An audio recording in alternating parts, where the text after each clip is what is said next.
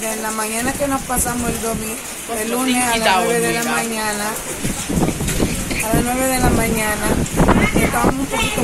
Ya después de esa hora comenzó a soplar fuerte, la lluvia estaba cayendo gruesa y nos estábamos mojando, pero ¿qué vamos a hacer? Estamos en una iglesia, único lo que pedía Dios que nos sostenga y que estemos con vida y que no, hay, que no haya vida que lamentar, la verdad.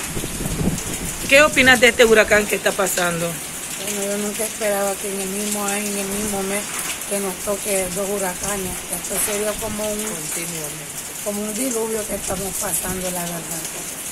Hubo, después que se llevó el techo en este albergue, hubo inundación.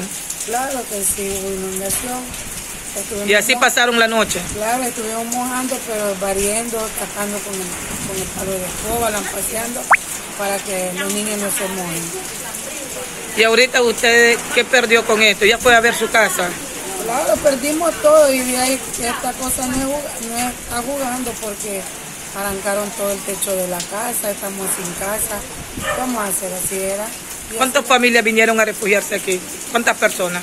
bueno, aquí hay como 500 con todos los familiares del barrio, pero ya con- de mi casa somos como 20.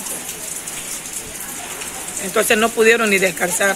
No podemos descansar, mire mi hijo como lo tengo, porque ahorita estoy con la presión alta también. Pero ¿qué voy a hacer? Vamos a pasar esto. Así está escrito en la Biblia, estamos escritos, pero ya estamos por...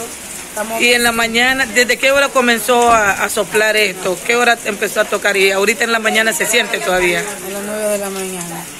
Y hoy es martes. Claro, 5 ya todavía sigue, pero ¿qué vamos a hacer? Ya estamos venciendo. ¿Cómo te llamas? estamos bien, ¿Cómo te llamas? bien,